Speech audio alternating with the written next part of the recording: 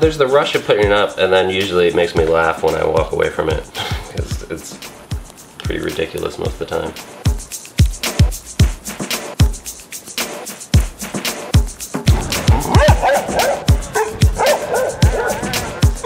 But yeah, it's fun. I mean, the the act of putting it up that goes back to you know doing graffiti as a kid, and then even when I was doing posters, that's what I loved about it is I was still able to kind of create work and, and put it out there and share it with people.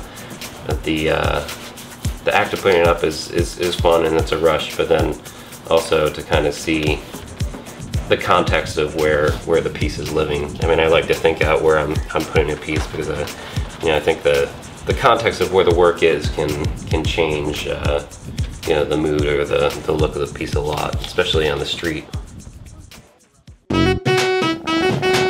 Vamos! Really, it just lands into a genre of pieces that are made uh, on paper and put up with paste.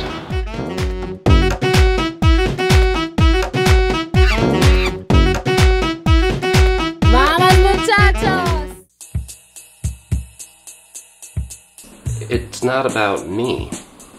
Uh, one of the things I've always loved about being an artist, I mean, whether, you know, just a painter or a street artist, is uh, that I don't really have to be attached to it. The nice thing about painting, and that's always kind of turned me on to art, is the fact that you create something and then people can enjoy it, and you don't have to be there to see what happens, and you don't have to talk to anybody about it. So that's uh, that's an aspect of it that I really like. That it's really it's not about me; it's about the work.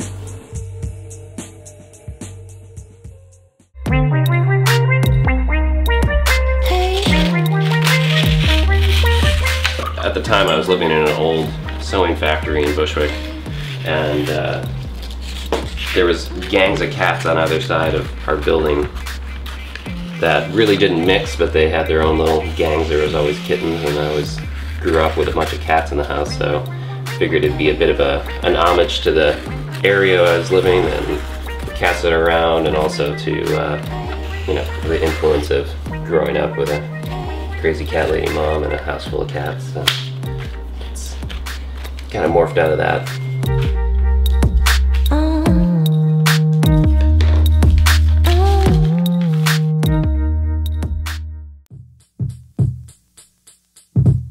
With this process, after years, I kind of learned that uh, isolate the fact that the drawing was the fun part. So I've, I've taken out the sketchbook, where for years I always had a sketchbook with me, and now these have become the sketchbook. So I, I try not to have a preconceived idea, and even if I do, try to let it go where where it may want to go. And uh, I found in, in my own work, it's it's helped me grow and and create some more. Uh, interesting pieces and bring my work into some different realms. So the process is even if I have like an idea, I'm going to draw the cat doing this, or I'm going to draw a guy to really kind of just see see what happens.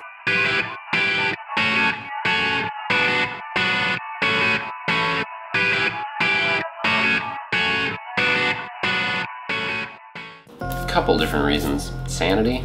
I mean, it's you know, it's uh, it's fun, it's enjoyable, but uh, you my grandfather was a painter, and I remember asking him as a kid. I said, "Well, why do you paint all the time?" He said, "I I paint all the time because I have to," and uh, I didn't understand that, but now I really take it to heart. I really get it. You know, it's something that is calming for me. Uh, it's meditative, so it's something that really has uh, helped me in, in many different ways.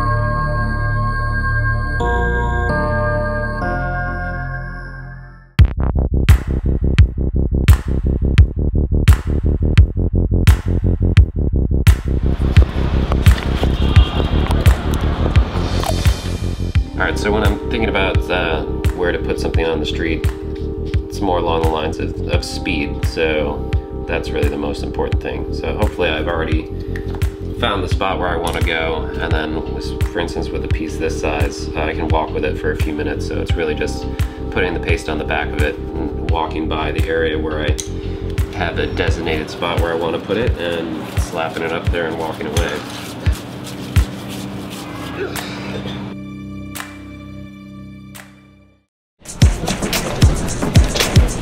A lot of ladder here. To me, I mean, it's about it's about the image. And uh, having people give people the ability to respond to it or, or not or just you know just to, to look at it which is great. And to be able to share it with you know tons of people which is pretty awesome